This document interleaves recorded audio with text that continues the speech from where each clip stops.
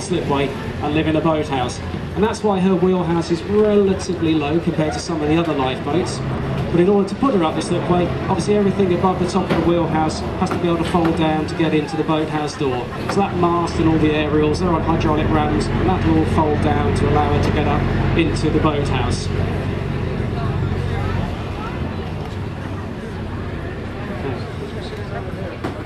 So John's just um, getting himself ready. Uh, we'll be looking to put the uh, put the Y boat back into uh, back into the um, the stern door on Tamar. So he comes, making his approach now. All about just getting it right. Just give it a little blurt. Okay, and that's housed nicely. And then the guys will um, jump on there and pull the boat up. He's remembered to tilt the engine up this time. He didn't last time. Okay, and the rod's just using the uh, the transom door just to pick that up a little bit and help push that Y boat in there. You see, it's very quick, it's very easy, it makes it a very, very effective tool um, for doing rescues then. You see, Tamar's are um, a fiberglass construction. It's not a steel boat, so she's made out of fiberglass, and um, the hull sides are also incorporate up to four inches thick of foam. Uh, so it's a very, very thick construction. Uh, should, in the event that they did suffer any damage, that gives us a lot of buoyancy in that boat. And you can see, you can hear the power from those two Caterpillar C18 diesels there, which gives it excellent manoeuvrability and a lot of speed and acceleration to get out of awkward situations. And that gives the crew the confidence to put the boat into the areas where they, they know that they need to get in and rescue somebody and be able to move out very quickly as well. You can see kicking up the water there on, on the bow, that's the bow thruster providing that power to turn around in a very, very small space.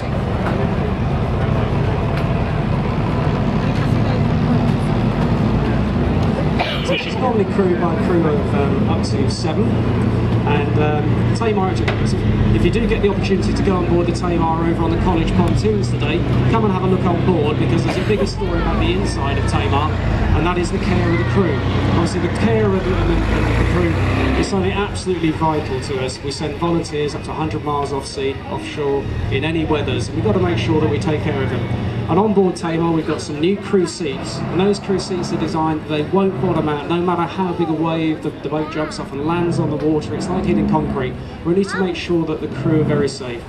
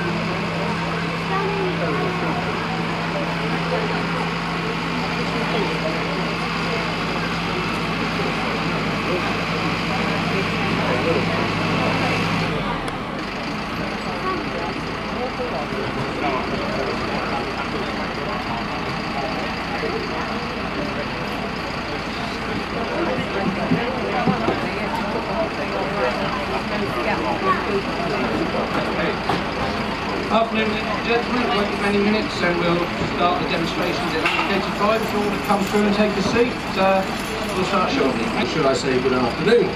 My name's Hugh Fogarty and I'm the head of police operations here at the RNLI and I'm going to try and talk you through the launch and recovery of the Atlantic 85. The tractor is a marinized Midland tractor, uh, especially designed by seawater to a depth of about 9 metres and then the tide goes out again everything should be okay. It wants the engines to be run before the boat actually gets put into the sea. So when we do the initial takeoff of the carriage, so the engines have been already The engines are two 150 horsepower Yamaha four-stroke engines, which been specially engineered by the to signal to the tractor driver that he's ready to launch, he's happy, his engines are working, all his electronics and radios are working. Uh, the tractor acknowledges by blowing the, uh, the, the horn on the, on the tractor and he then proceeds down towards the sea. In reality, this tractor will do just under 20 miles an hour, but obviously uh, when you're actually launching the boat, we do it at fairly slow speeds, but uh, across over the wide open beach, we can go quite a bit further, faster. And also, if we're transiting from A to B, the tractor driver can actually turn his wheel around. If you look at the tractor closely, it's got two steering wheels, so he can actually drive it facing either way. He puts the boat down into the water until the, uh, the part of the carriage is covered. And as soon as there's sufficient water to cover the propellers, the uh, helmsman will give instruction to the tractor driver and his crew, and he will just drive away out of, out of the carriage. And as they now reach that point, away she goes. That's the boat gone, and the tractor driver should immediately reverse back out of the, the water, back up onto the, uh, the hard standing, where the shore crew will rig the recovery net for the uh, boat to come back into.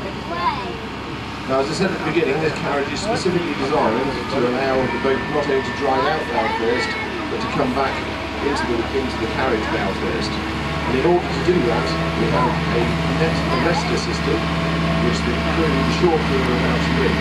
So although not everything happens in the lifeboat station, most people don't the shore crew.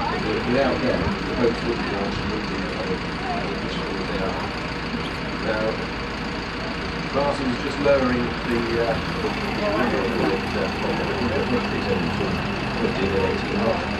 and the boat weighs with the crew on board just about two tons. Actually, with the crew on board, probably slightly over two tons, but mind. Um, so, uh, two tons of boat hitting the uh, hitting that net average in the water, and when he's happy with that the boat get, he will contact with the boat by radio, station is ready for recovery. Now, obviously, this has taken a few minutes to rig, but in reality, the boat may, may have been out for an hour, or an hour and a half. So, you know, we've only been going now for 11, 11 minutes since I started talking originally. So, you know, it's all tucked away, but they have been now.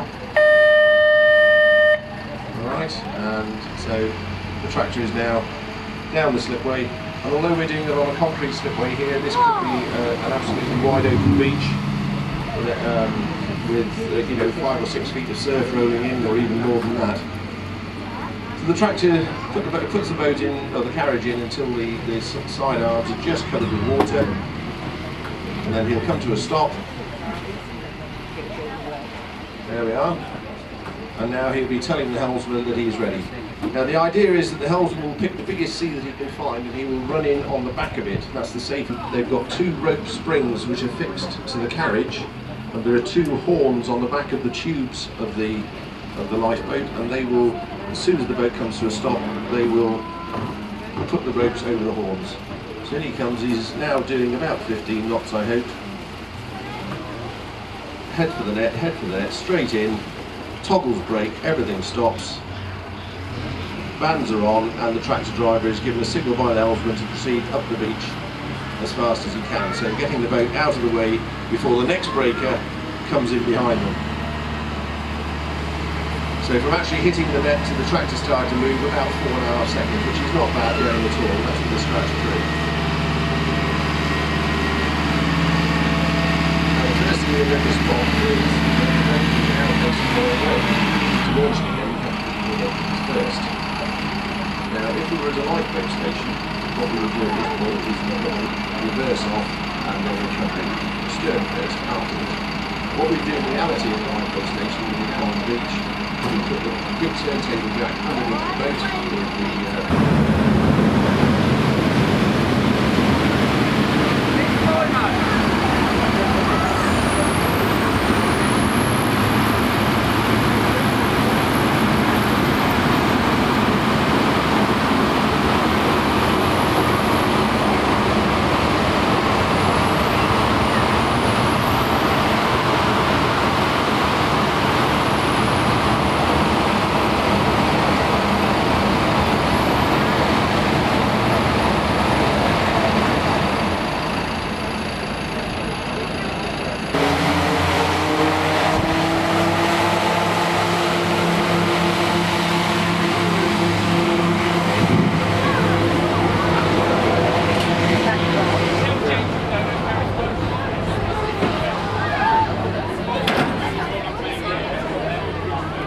That's one big hairdryer with two golf tees on the back of it.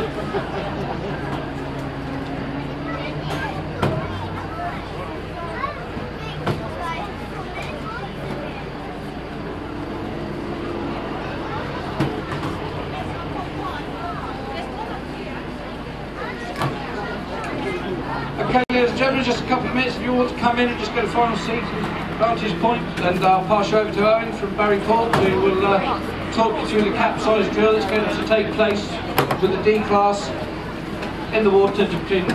and then to stop before he gets up there. Now he's on his way in now, so I'll get out of your way as much as I can. Okay, the hovercraft works on the the cushion of air. The top, and power. Beautifully done. I couldn't have done it that well without like that. Okay, I'm blocking the air from being blown out through the back of the hovercraft by a set of ailerons which actually interrupt the airflow. The downside of that is that it stops the back end from looking at the flying place.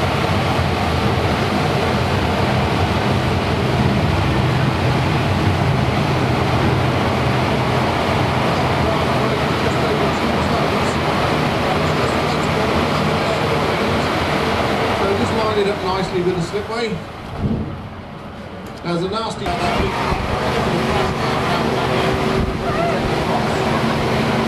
Okay, the crew has positioned themselves so they're happy.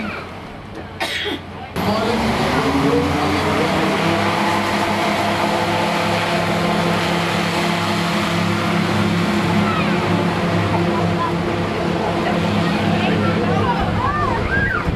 The boat is going to replace the Mersey. We've got a couple of models that we're going to run in the harbour here for you. It gives us good speed.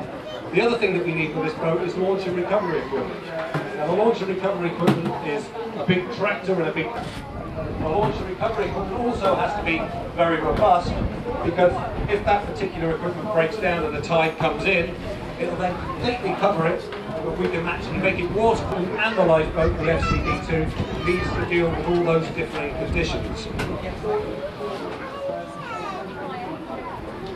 Behind you, when you walked in, if you looked at the lifeboat which was on its side, that was full of instruments. Instruments that measure acceleration vertically, transversely and longitudinally, but also motion.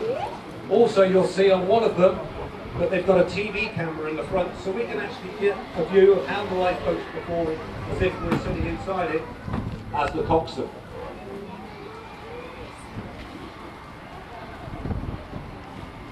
What's happening now, with because there's lots more properly, the first one should be operational on station, and two's in the water with the launch and recovery gear ready to replace the Mersey, and thereafter we'll build more for the Mersey replacement.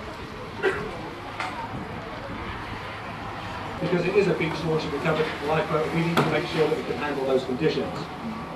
Some of those designs were existing commercial designs, some of them were ones that were created just for us, and also we designed one ourselves. And I'm glad it's powered by two batteries, and the batteries can basically give us 20 minutes at full power. After the 20 minutes to power, they'll into seas, with seas behind them, seas on the side. So we've put these models through everything. What we're going to do now is we're going to uh, hand over the harbour to the model display, the, the, uh, the model makers, and they're going to put their replicas of, uh, I think we've got Severn class, class one Aaron, and I'll hand the microphone over to one of the guys here and he can take you through to talk to you about the model making. Thank you very much. Well, I'm just behind this grandstand, which is the first production Severn class 17. Now these boats, when you see the front, you'll see this little propeller on the front and it allows the boat to swing on its own axis. Very, very manoeuvrable. So that's the largest boat that the, the RNLI do. They've stopped making them now. They make 46 in all.